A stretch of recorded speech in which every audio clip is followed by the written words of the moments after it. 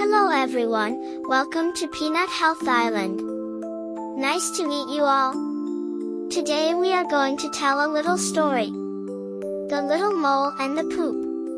If it's your first time today, welcome to follow our video channel. Let's get started.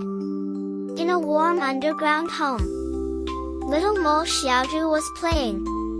Suddenly, she saw a poop. She asked her mom in confusion. Mom, what is this? Mom smiled and said, This is poop, darling. Little Mole Xiaozhu wrinkled her nose and asked, What is poop? Mom patted Xiaozhu's head and said, Poop is what our body doesn't need. Little Mole Xiaozhu still didn't understand and asked, Why do we have poop? Mom patiently explained, when we eat, our body absorbs the nutrients. And the rest becomes poop. Little Mole Xiaozhu blinked, and asked, why does poop smell so bad? Mom smiled and said, because it's what our body doesn't want, so it has a smell. Little Mole Xiaozhu wasn't satisfied, and asked, then why do we expel poop? Mom explained, so that our body can stay healthy.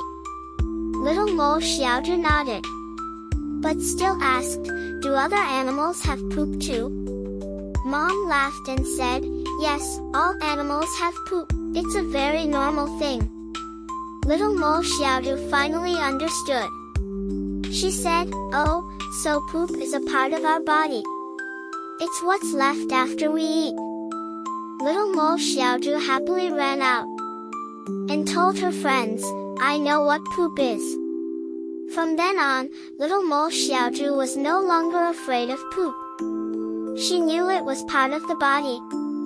And she taught this to other little animals. Today's story ends here. I hope you like it. Feel free to leave a comment on what topics you want to hear. If you like it, feel free to share it with people you like. Also welcome to follow Peanut Health Island subscription number to learn more little stories. See you tomorrow.